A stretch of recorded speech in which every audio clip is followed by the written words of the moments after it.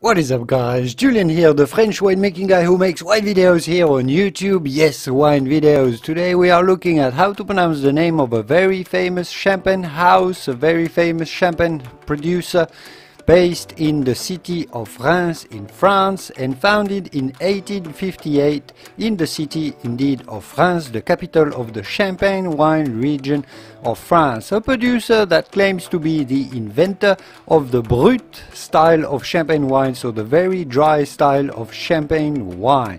We are looking at how to pronounce the name.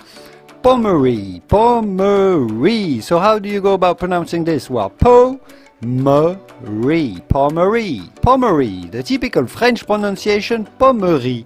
Champagne, Pommery, s'il vous plaît. I would like some Pommery, Champagne, Pommery.